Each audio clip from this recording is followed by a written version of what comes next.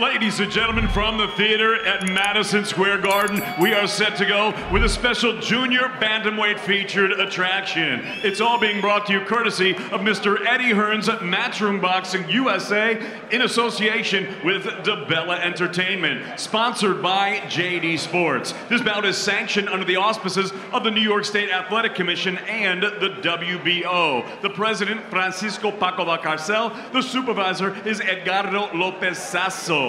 Introducing your three judges scoring this contest from ringside Ken Ezzo, Frank Lombardi, and Alan Rubenstein. At the sound of the bell, your third woman in the ring will be Sparkle Lee.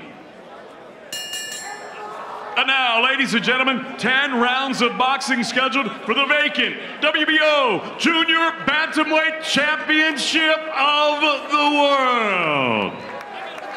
Introducing first, fighting out of the red corner, she stands with her head trainer, Dominic Junga.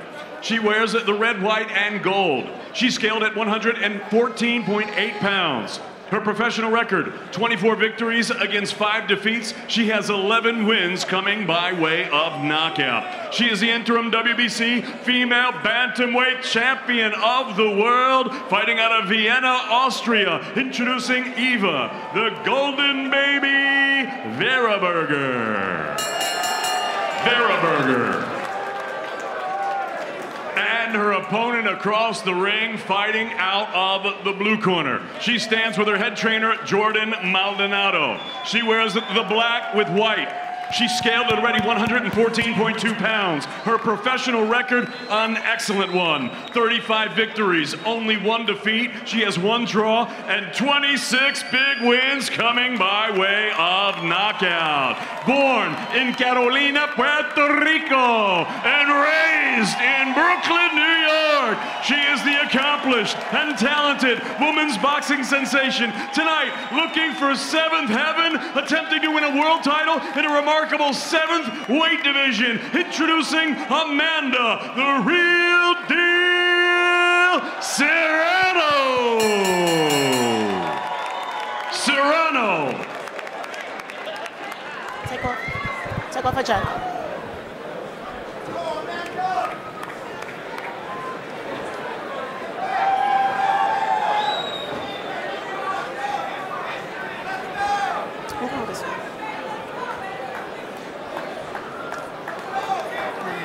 These are a little high. All right, right now, here, these are a little high, so this is going to be good right here for you guys. You already received your instructions? Obey my commands. Protect yourself at all times. Touch glove, ladies.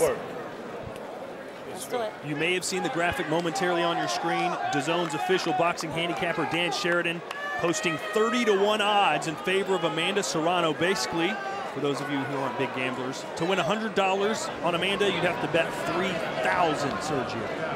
She's a huge, huge favorite here, and for good reason. Voraberger hasn't fought outside. She'll be the first Austrian champion, so, you know, she's got her hands full tonight. And Serrano likes to go forward, and Voraberger forced to let her hands go right away. Let it go, let it go. Stop, stop. As Serrano outweighs her, it looks like, what, at least 20 pounds there.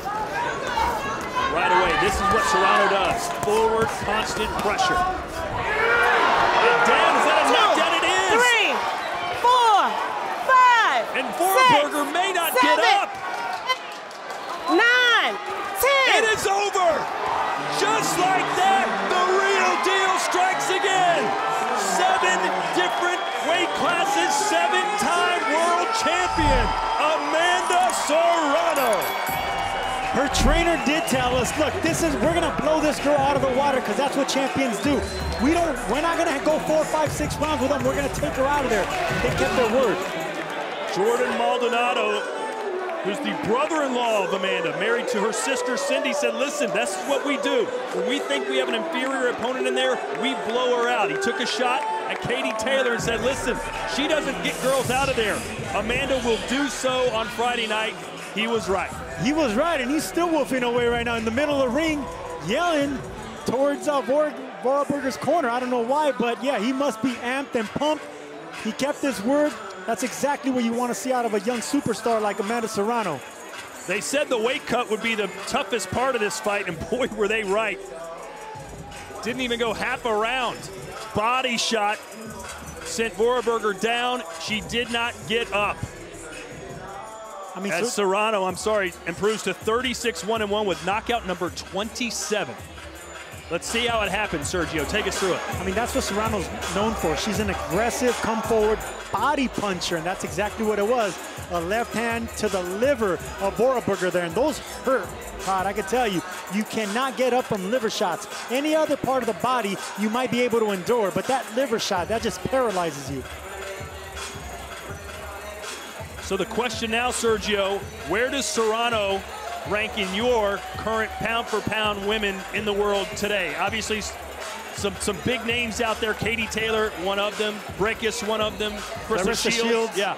No, you know what? Uh, she's definitely in the top three. I'll, I'll, say that because look, every time I see Katie Taylor fight, I'm impressed. This is the first time I'm watching Amanda Serrano fight live. I'm very impressed with her aggressiveness. So there's there's different things that I'm impressed by: boxing style, aggression, uh, ring generalship, timing, speed. I didn't get to see that much out of Serrano, but I'll tell you what, I'm impressed. Well, Sergio, good thing we don't get paid by the round because I don't think we've called a full round of boxing between our first two bouts. Good point there, Todd. Let's go back into the ring now. David Diamante crowning the new champion.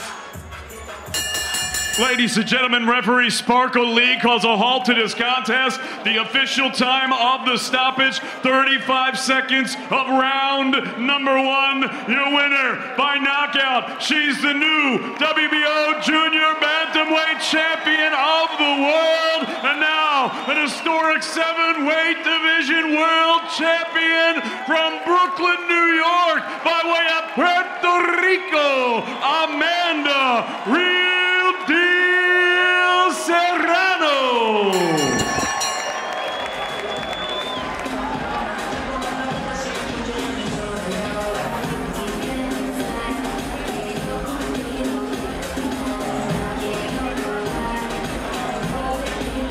Amanda Serrano has certainly been there, done that. She knows how to accept these titles and put them around her waist.